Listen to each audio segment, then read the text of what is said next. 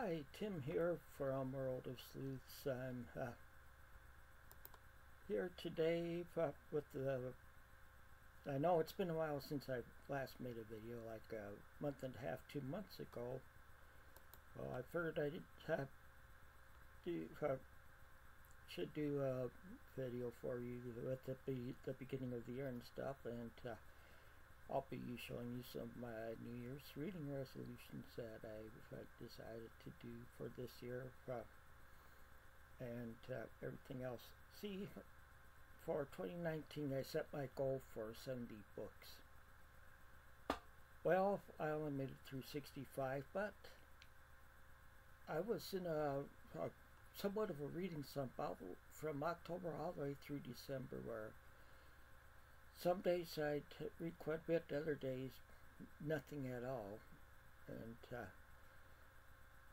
so, but uh, so with me make, having read 65 uh, out of the 70 in the year, that's uh, that's not bad. Well, so I decided for this year I was going to set my goal for 75 five of those books are from the five I uh, didn't finish last year. And so that would pre pretty much make it 70. And uh, so with that said, this uh, video might take be a little longer than usual. So uh, well, I'll start off with the books I uh, that I did not uh, finish last year. And this first one I finished yesterday on New Year's Day. And uh, that book is uh, Double Cross by James Patterson. Uh, it's the 13th book in the Alex Cross series. Uh, and uh, it, it's a real good book. I gave it a five star rating on Goodreads. Uh,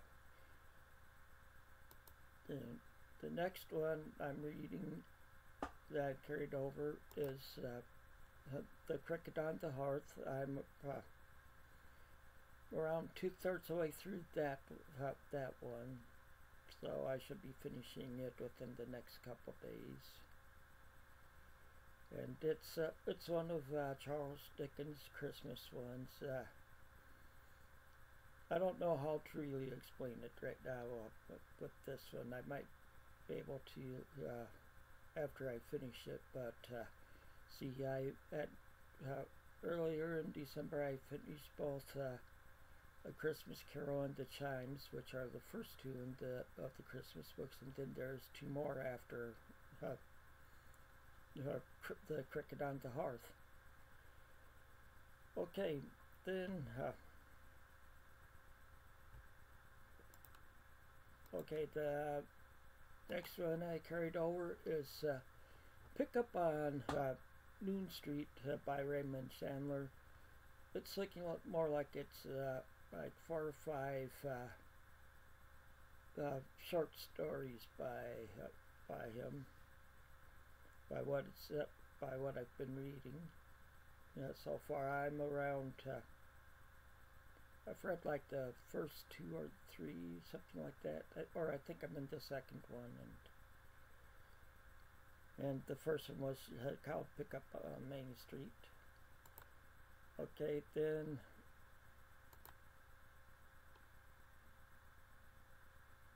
the uh, fourth one I carried over is uh, The Mysterious uh, Mr. Quinn by Agatha Christie. This also seems more like a group of short stories. There's only two people in count that are have been in both of them the ones that I've read. That that has been uh, Mr. Satter, uh, Satterate or something like that, or or something like that, and uh, and uh, Mr. Quinn. I've read uh, three stories from that already. Uh, I'm around. I think I'm. I'm a, not quite halfway through that one. And uh, then the next one, the last one that I carried over is A Crying Night by, uh, oops, by Mary Higgins Clark. I'm not not too far in on this one yet, uh, but uh, I have, it turns uh, looks like I hadn't directed any Mary Higgins Clark for the in uh, 2019, and uh, don't know why I like her books, but I have picked it uh, also at, for the end of the year reads, try make my goal, but because it's a shorter book. Okay, now uh, and now I'll start uh, with my reading goals and uh, when I oh, or or so my that I set up like uh, nine different uh, categories. I'm doing books um, for in this now for reading. The uh, the first one is intimidating reads. That's because uh, I named it that just because I'm a member of the public domain readers uh, group on uh, on uh, Goodreads, and uh, and uh, this uh, after I finished reading uh, the Last of the Mohicans uh, back in the fall, both the moderators came asked me if I'd be consider leading of group reads for and discussions for these uh, for these longer book, uh, longer books that uh, people just feel intimidated to read or even start.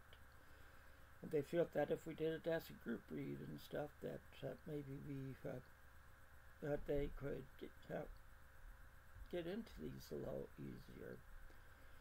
So after a little thought and stuff, I decided to agree and and uh, I decided to agree, and uh, well, they decided to make me uh, another moderator for the group also, so I, I wouldn't have trouble doing doing any of the group polls or adding books to the bookshelf or anything like that. And for me, make I had to make made a new uh, topic uh, in the uh, discussion for just for the intimidating reads uh, group reads. And um, well, anyway, and also I did a poll at the beginning of December for, for uh, the group to for members of the group to decide what uh, book they they wanted us to wanted to read first in it, and uh, it won uh, four to one in the groups. The group's a small group anyway, but the book uh, that we decided on is The Moonstone by Wilkie Collins. Now, what the books and what the ones and the intimidating reads on, most of them will take uh, will uh, taking more than a month to read, like this one, because the length of the book, we're taking four months to read that. I figure it, most of the books will be taking three or four months to read it, unless like reading like these real big ones like. Uh, like uh, War and Peace and stuff like that might be like uh, five, five, uh, six, or even more months, uh, depending on how many pages there are, are in it. And I'll leave a link down below for the group if uh, anybody's interested in joining us uh, in this. Okay, and and then the The next uh, one is the World of Sleuth series read. Uh, so, uh, some of you might remember I started my own uh, group uh, a year and a half ago where we were doing um, uh, like uh, group read like read-alongs or group reads, but and we were but we were doing it for a month at the time and I was just getting burned out just trying to keep up reading all of those in a month along with my other reads, so I decided to uh, reduce it to well, one book a month, which is a series read that everybody everybody was agreed with continuing with that one. So, uh, and with that, we've been reading the Alex Cross series. Now we're back to now we're up to book number fourteen, which is Cross Country.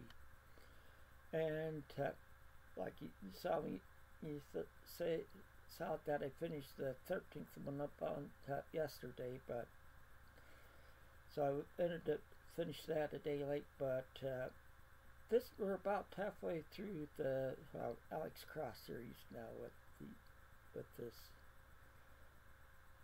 Okay, and so uh, and that should be finished. We'll finish that by the end of the month or should.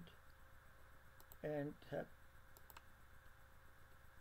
then the next uh, one that I decided to have to is uh, a physical book series read.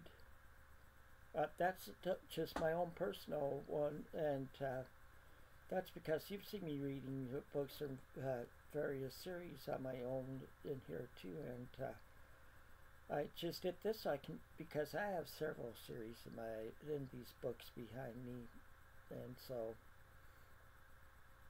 well I figured hey get some of those down, uh, uh also uh, and so. The book that I decided to do for the month, this one that I've had since it first came out, and that was back in the early 90s. I think it was like maybe 91 or 92. Uh, it's uh, The Sum of All Fears by Tom Clancy. Because the label on this book says uh, Stars and Stripes books uh, uh, uh, on it. And I got out the Air Force in 92, so this must have come out in 91 or 92 before I got out. Uh, but uh, I've started it at times, but I've never finished it. I'm determined to finish it this year. This is a longer read. It might take me more than a month to read, but if some take me more than a month to read, I'm not going to worry about it. I'm just trying to get 75 done during the year, hopefully, and uh, some of the books I read will be shorter, uh, uh, uh shorter books, it shall help me uh, uh, when I read these longer books, or I have other shorter books, and I for any of these categories with which I might finish early on in the month, I can just uh, read a shorter book, either short ebook or a physical book, and to help me uh, manage my goals. Okay, the and then the next one. Oh sorry about that. The next one is uh, other physical book uh, fiction read it's I have so many fiction books that like I'm doing shorter ones for now. I pulled out all the books below 300. I'm trying to read out them first, and then I'll do the ones under 400. And the book I decided to uh, do for this one is uh, one by Mary Roberts Rinehart. This is one of her books that it was from like the 1930s. It's The State versus Elinor Norton is the name of it. I'm not really sure what it's about. She's mainly uh, mystery writers, so.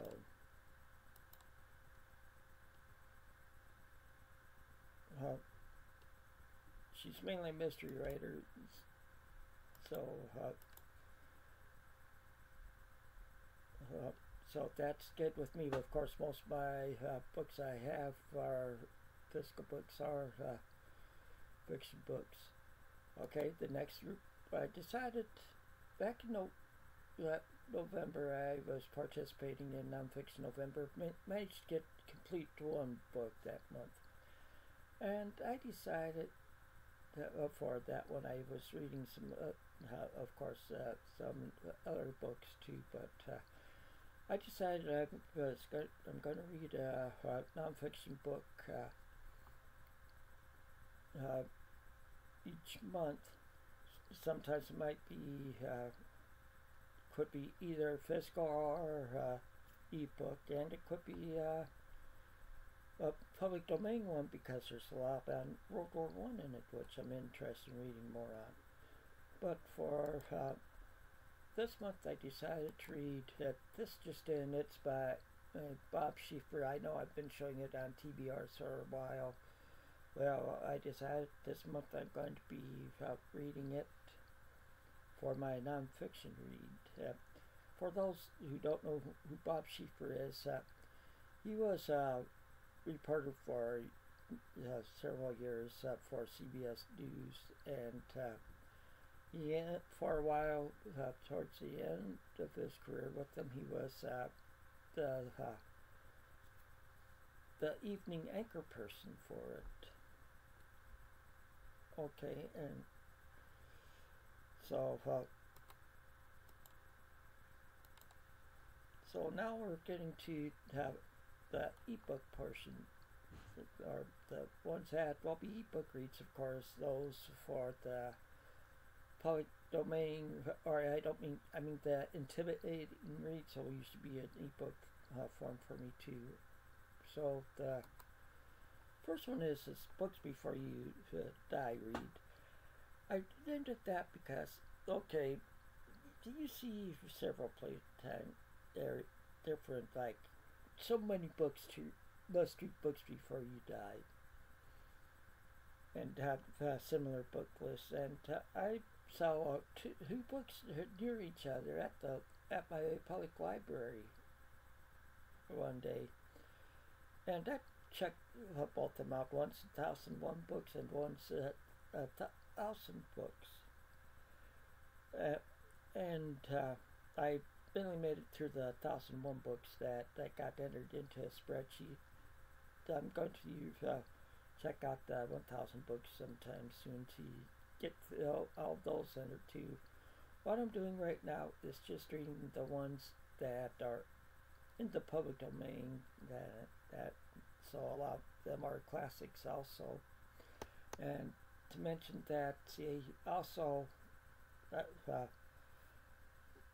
Lucy from Lucy the Reader has uh, started uh, a classics community on Goodreads that you could say, and uh, here on uh, YouTube, and she's created a year-long readathon.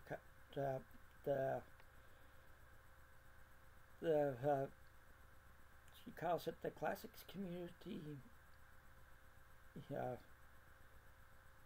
the uh, 2020 uh, uh, classic readathon, uh, trying to challenge people to read like it, read like uh, suggesting like one classic a month. I'm, I set my goal for it at 20 uh, classics. I figured out I read around uh, 14 last year. So with the way I have things set up uh, now with this with the, these resolutions uh, that I should be able to uh, get 20 done this month. And uh, one I'm reading is starting out with it's uh, I, it's uh, one from Project Gut that I downloaded from Project Gutenberg. I, and it doesn't have a cover page to it. Uh, it's it's an American literature classic. the book is Main Street by Sinclair Lewis. Uh,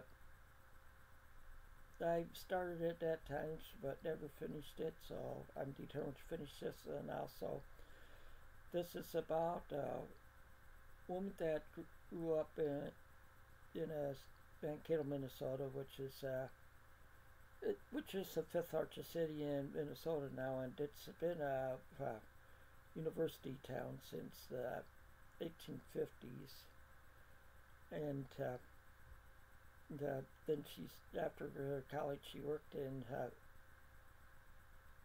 yes it is fiction uh, uh but uh, so but after uh, college she worked in Minneapolis I should say St. Paul some and then and Chicago and uh, but she met a doctor that, she got she fell in love with and uh, and uh, after they got married they moved to his uh, hometown which is a small town in Minnesota and it's about her adjustment to small town life this this book came out in,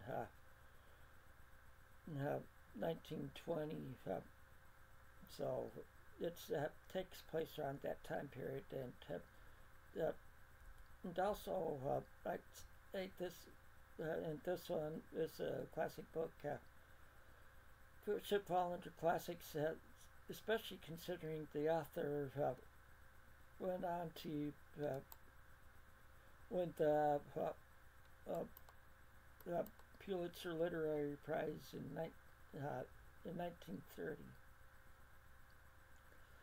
Okay, the next uh, reading uh, challenge I've given myself is uh, classic, uh, uh classic or book public domain mystery. Since Lucy the Reader says, yeah, not everything in uh, Project Gutenberg would be considered a, classic. And I can understand that. There's some that where the authors aren't as well known, including the one that that I'm re- reading a book from next month, and I've been reading some of his books. And the book is uh, Guy Garrick, which is the next book in the uh, which is the next book in the Arthur B. Reeve's series, and or the next book in the Craig Kennedy series by Arthur B. Reeve. Uh, which uh, and uh, these series it is uh, he's uh, considered himself to be a scientific detective uh, where he uses scientific methods to solve mysteries. And he's consulted by the police.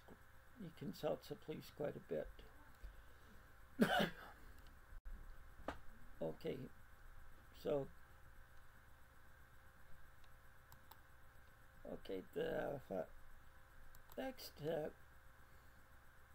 next one challenge for me that I'm doing is uh, the, uh, classic public domain series. It's uh, just uh, the another next book in the series in, in uh, public in a public um, public domain or classic book. I think this one would be considered be a classic series that I'm reading. I've read the first two this past year, and that the book I'll be reading is The Beast of Tarzan by Edgar Rice Burroughs.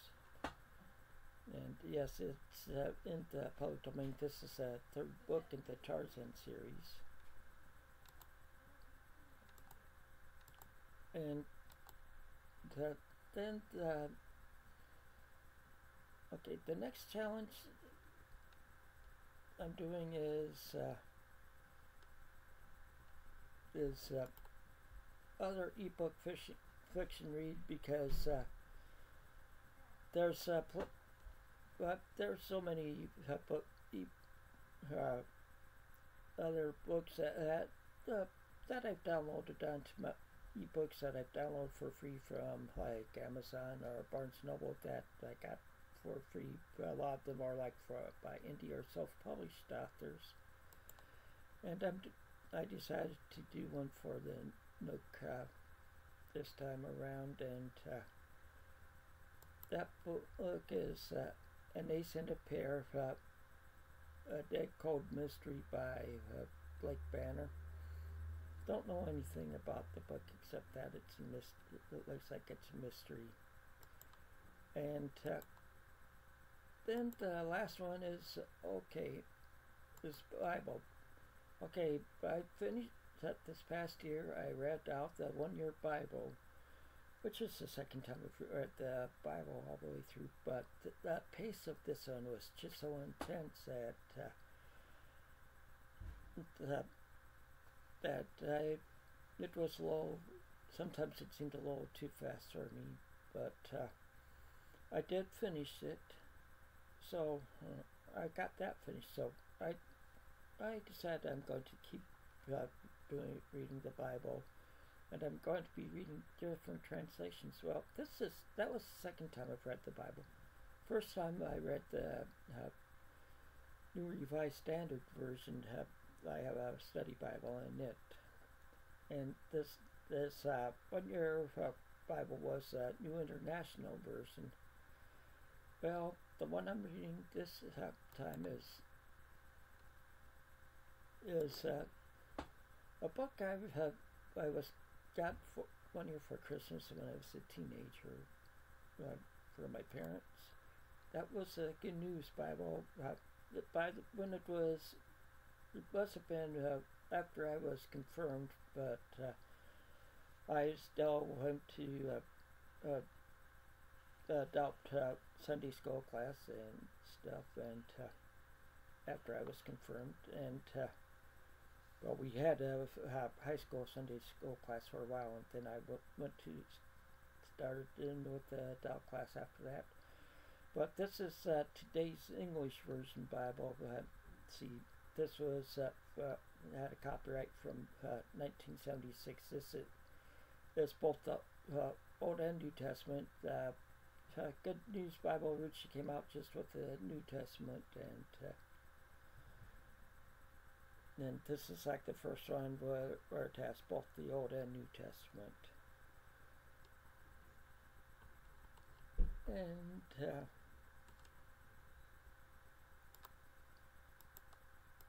and uh, well, that's all I have for uh, uh showing you in this video.